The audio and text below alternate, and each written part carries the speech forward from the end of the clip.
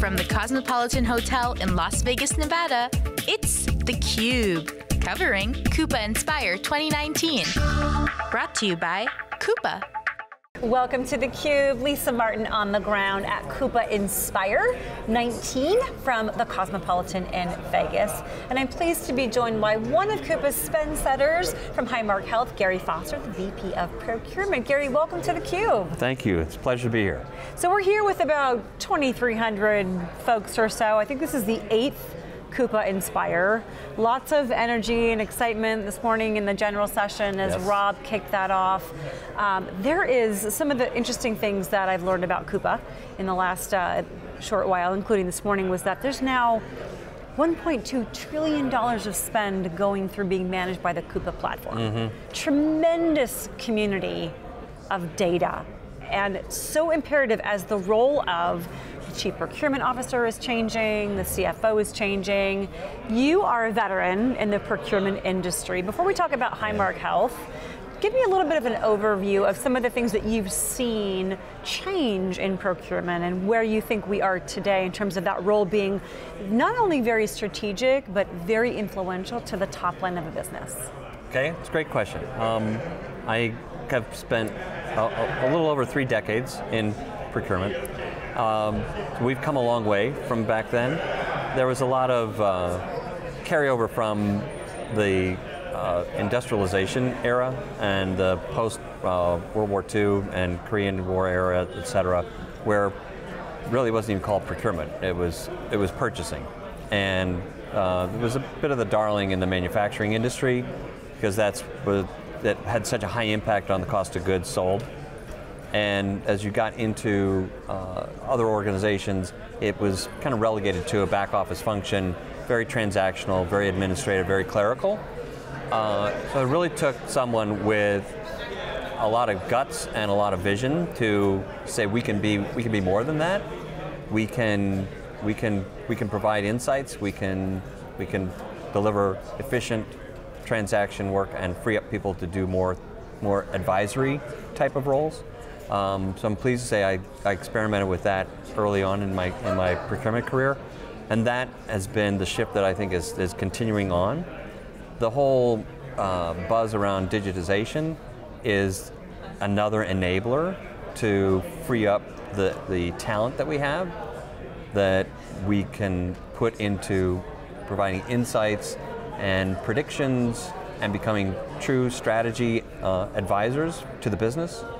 So in the most recent, uh, so I've, I've, had four teams that I've taken over to either completely transform or build from the ground up. And this most recent one, uh, I've sort of mashed up a lot of things that I've learned over the past you know, three decades to try to prepare them for what I, where I believe that the, the profession is going, where I believe the function is going.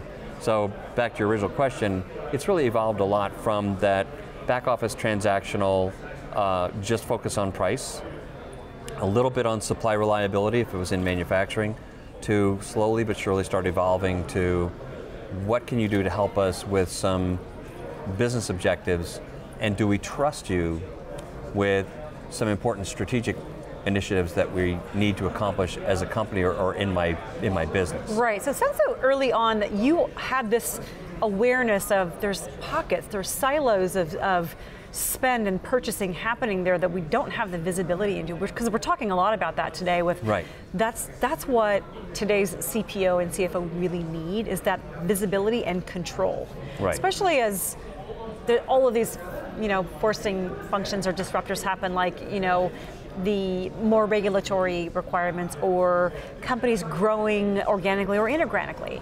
And suddenly there's many, many areas within a business that are buying and spending. Right. And if they don't have that awareness and visibility into it, there's a not only is it obviously a, it's a cost issue, but one of your points too, from a resource utilization perspective, right. there's a lot of opportunities missed. So it sounds right. like you kind of saw that early on in your career that there's there are things going on. We need to get visibility into all of this. Yes, yes, and it's that's probably the you know that's one of the foundational building blocks is to get a good handle on where's the where's the money going.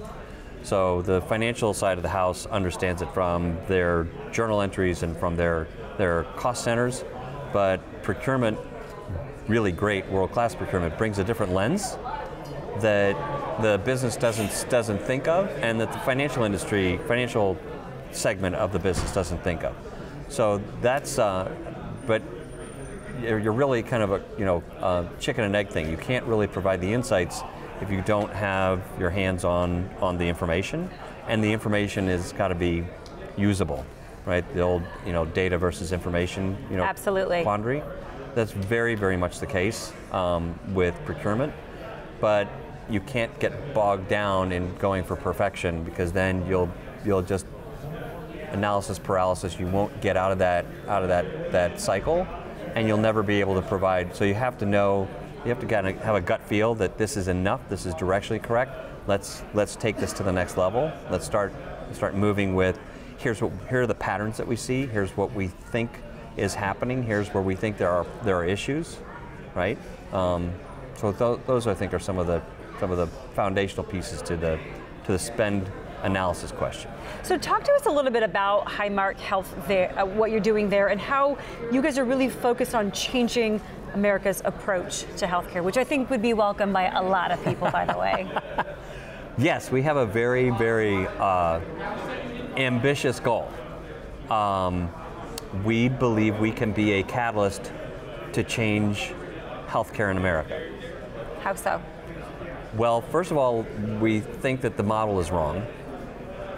If you think about the way that the healthcare industry has grown up in the in the U.S., you went to you went to a hospital because you were either sick or injured. You had to go to those locations.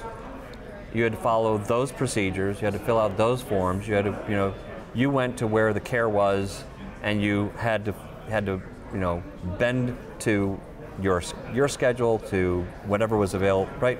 We've all experienced trying to get an appointment with uh, with a doctor, and it's you know four months out, right? So we're doing, you know, we this was a year and a half ago. We introduced same day appointments. Right. So we so we have both a, a hospital system and an insurance company, so we can see kind of the whole value chain Okay. through the healthcare experience. And one of the fundamentals that we're doing is we're tr- we're we're trying to bring a, a retail mindset to healthcare. Where the wellness comes to You, ah.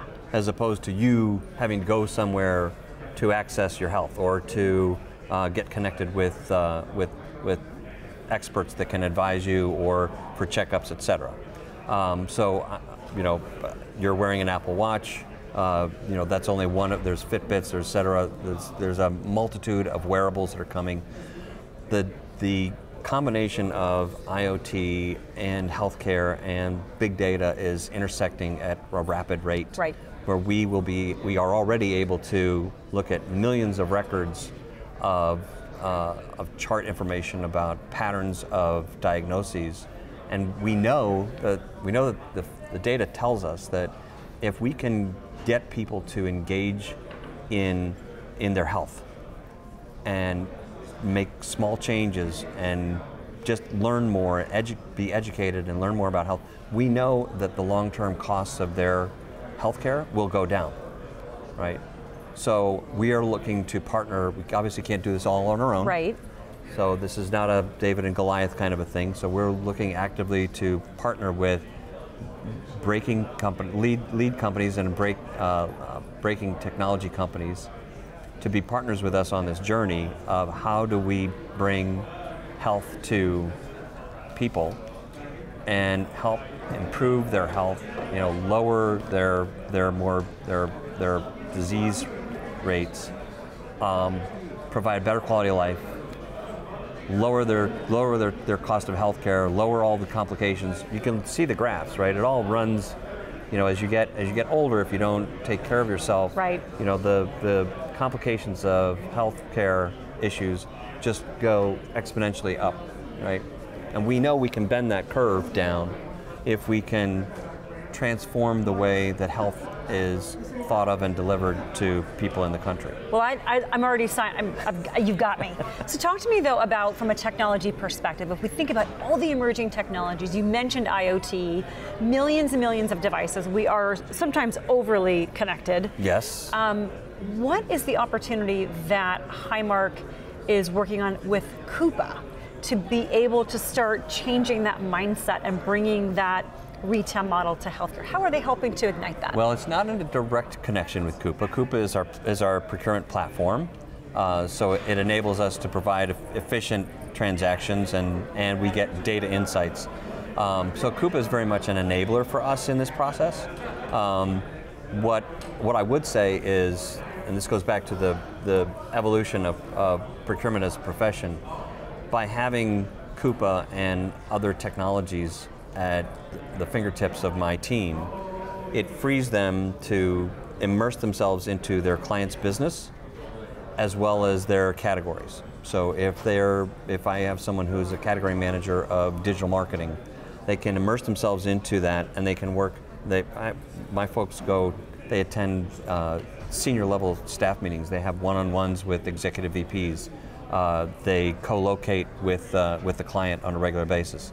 So we really immerse ourselves into it. So what Coupa is doing is it's allowing us to spend less time on transactions and process and process and more time learning the business, more time understanding the industries that they operate in, looking for innovation, and bringing those innovative partners to, to the business that wouldn't necessarily have happened on its own. Right. So we have this incredible network, particularly if we have people that really, really have a passion for procurement and really have a passion for being intimate with the customer. I know it's an overused phrase, but the trusted advisor status is definitely where we should be. That's and you know the Coupa organ, the Coupa platform and tools enable my team to have to bring those insights and those opportunities to the business.